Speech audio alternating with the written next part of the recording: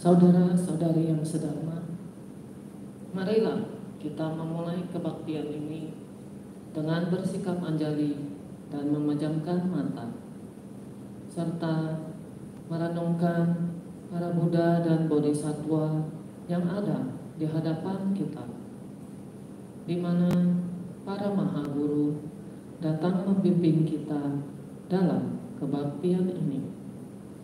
Baik orang tua maupun saudara-saudara kita bersama-sama menyatakan penyesalan atas karma-karma yang telah kita perbuat. Adakah kebahagiaan yang abadi di dunia ini? Tidak ada. Apa yang membuat kita menderita? Menurut Buddha, yang membuat kita menderita adalah kemelekatan atau attachment kemelekatan terhadap segala sesuatu yang telah dicapai atau dimiliki. Kita mengerti bahwa semua yang ada di dunia ini bersifat sementara. Tetapi ketika terjadi perubahan, misalnya kepergian orang-orang tercinta, kita tetap saja sulit menerimanya. Itulah penderitaan. Kekuatan pada kearifan untuk menolak kemelekatan bukan hanya dengan belajar atau dengan intelektualitas saja juga tidak mampu menghentikan kemelekatan tetapi dengan mempraktekkan pengendalian diri, nyinfo, meditasi, dan berbuat kebajikan. Sehingga di saat menghadapi perubahan batin kita tetap tenang atau seimbang tidak hanyut dalam kemarahan, rasa jengkel, sedih, kecewa, dan frustasi. Marilah kita bersama-sama berusaha melakukan kebajikan, berpikir positif, serta bertutur kata yang baik dalam bersosialisasi dalam kehidupan sehari-hari. Dalam kesempatan ini, kita juga bersama-sama bertobat di depan Sang Buddha agar kita selalu berpegang pada sila dan dapat mengendalikan diri.